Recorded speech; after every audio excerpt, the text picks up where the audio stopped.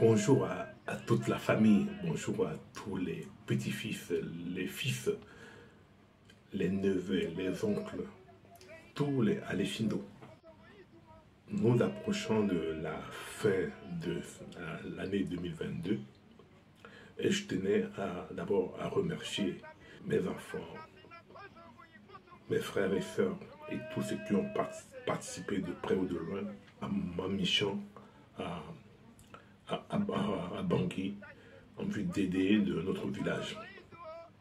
Je reviendrai longuement sur le parcours. Mais pour ce soir, je voulais juste vous souhaiter de passer un bon réveillon de Noël, plein de cadeaux pour les petits-enfants, pour les parents, pour tout le monde. Et je vous donne rendez-vous d'ici la semaine pour une nouvelle vidéo pour la fin de l'année. Joyeuses fêtes à toute la famille.